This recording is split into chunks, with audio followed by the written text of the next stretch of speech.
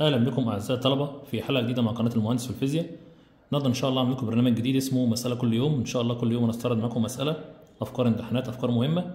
هنحلها بأبسط طريقة ممكنة إن شاء الله. لأول مرة تتابعنا ما تنساش تشترك في القناة وتفعل زر الجرس عشان يوصلك كل جديد. يلا بينا نبدأ مع بعض.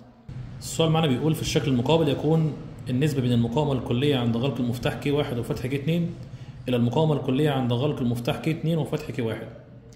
أول حاجة هقفل K واحد وافتح K اتنين. هقفل K واحد وافتح K اتنين. تعال نرسم رسم تاني بشكل مختلف ونشوف نحسب المقاومة الكلية إزاي. أنا قفلت K واحد أهو. هنا في مقاومة R وهنا في مقاومة R. هفتح K اتنين كأنه مش موجود خالص. وأرسم بقية الشكل أهوت. في مقاومة هنا اتنين R وفي مقاومة هنا اتنين R. ده اتفتح كأنه مش موجود خالص معايا. لو مشيت مع التيار دلوقتي هيطلع من القطب الموجب بتاع البطارية هيخش يتجزأ جزئين. دول توصيلهم توازي مع بعض بنص R. زائد دول توازي مع بعض اتنين R مع اتنين R ب R. يطلع R ونص تلاتة على اتنين R.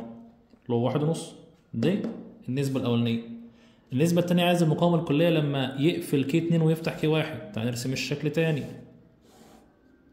خد بالك بقى المرة دي ادي المقاومة R اللي فوق دي زي ما هي. أهي. افتح K واحد دي مبقتش موجودة خالص. طب هقفل K اتنين اهو هقفل K اتنين. كده K اتنين اتقفل اهو. ده مكان K اتنين بقى مقفول. في فوق اتنين R وتحت اتنين R. طبعا التيار يطلع من القطب الموجب هيعدي على R ادي R معايا اهو. ويجي هنا.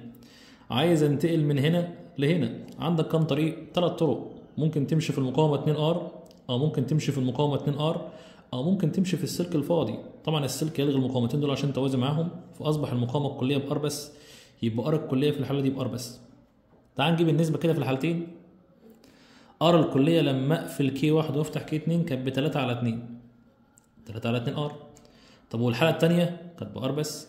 شيل R مع R يبقى لك كام؟ تلاتة على اتنين. يبقى الاختيار الصح الاختيار رقم د